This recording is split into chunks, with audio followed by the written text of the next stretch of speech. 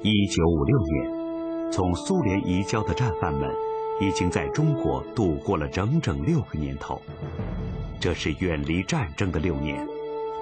六月九日，接受审判的日子到来了。战犯岛村三郎在回忆录《中国归来的战犯》中，记述了前往法庭时的绝望。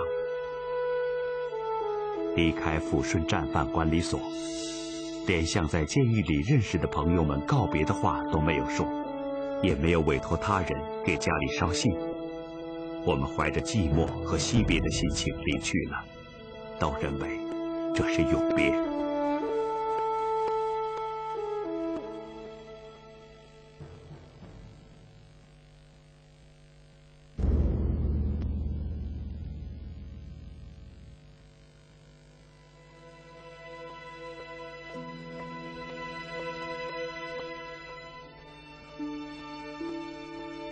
八十二岁的李放老人是参加对日本战犯审判的见证人之一，至今他仍保留着一九五六年出庭时所穿的制服。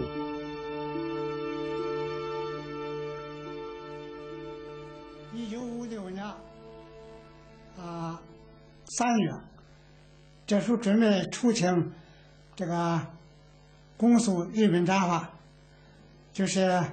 我每个出庭的检察员都做一身灰色衣服，所以我一直把这身衣服嘛在保存下来到今天。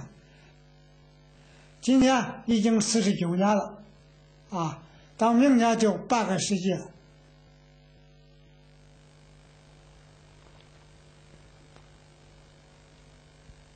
一九四一年一月至一九四二年三月，被告人。三井九二郎任为三江省河内县刑山警察署长期间，从一九五六年六月九日到七月二十日的一个多月时间里，在抚顺和太原的一千零六十二名日本战犯中，罪行较重的四十五名战犯走上了法庭。他们在沈阳和太原被分为四个案件逐一审理。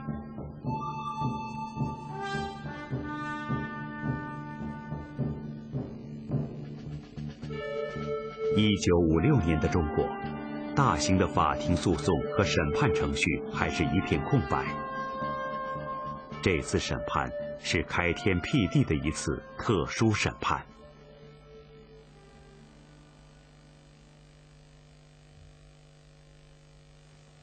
中华人民共和国最高人民检察院对铃木启久。